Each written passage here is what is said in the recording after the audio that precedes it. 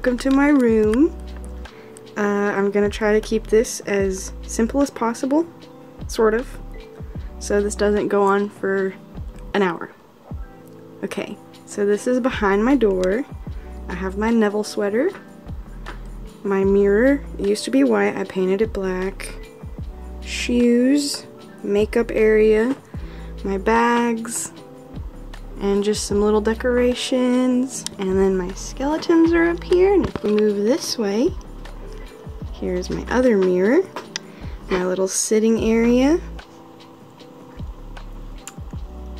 This is my green wall, aside from the two beside my door.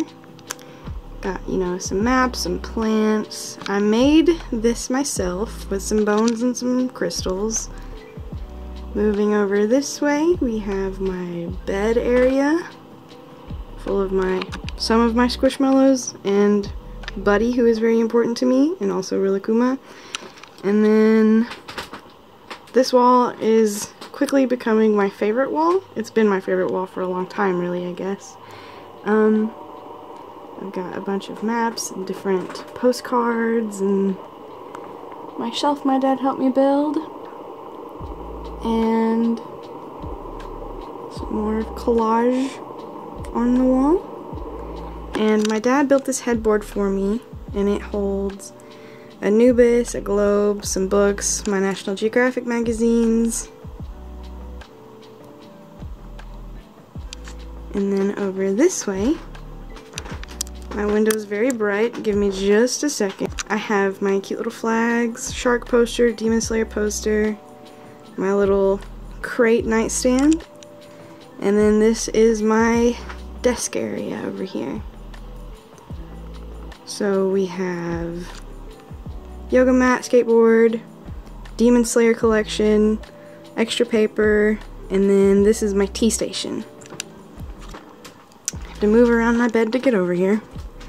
I have my pen collection, some autographs, some more of my squishmallows. And this is my little tea station in my room. It's one thing I'm proud of. And I don't know if this video will go up first or the other one will go up first, but I do have a process on DIYing this whole area that will come out sometime, either before or after this video. So this is just an electric tea kettle, and I make my tea here in the mornings. And then my other shelves, this is where I keep my extra tea stuff. And then right over this way is my desk area. This is an old monitor that used to be at my grandparents' house that I just brought here since it wasn't getting used. It's nice to have the extra space to multitask. I've got my keyboard and stuff. And then some more collage on this wall. This is where I keep my cameras. The one I'm holding right now usually goes right there. Some notebooks, my tarot cards, some more books, and then a really cool painting my aunt gave me. And one of my newest, most prized possessions is this hoodie makeshift plush. I'm really sad I missed Masky, but you know what? It's okay. Coming over this way. Um, yes, that is broken. Don't say anything or you're homophobic. Joking. This way is my TV slash game area and this shelf just holds like incense and some extra traveler's notebook stuff, my washi tape printer, and my Cricut. Then I've got some plants. And then this is where I keep my PS4 games. Got, you know, my little Nathan Drake shrine. And behind my TV is just some more posters that's where I keep the Wii and the Wii games. And then I have, excuse the wire from my controller, I was charging it.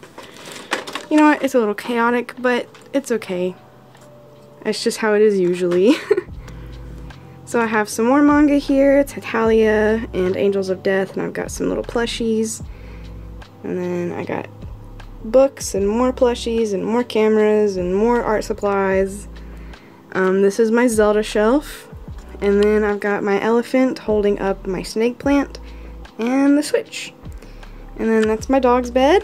And over this way is just my closet. I didn't like the door, so I just hung some curtains on it. I'm thinking about replacing the curtains with tapestries sometime soon. And then very up top is my Harry Potter shelf. And then that is pretty much all of my room, except for my suitcase I forgot to show you. It's got a bunch of old sketchbooks and stuff in it. But yeah, thanks for watching. Hope you enjoyed, and see you in the next video, I guess. Bye.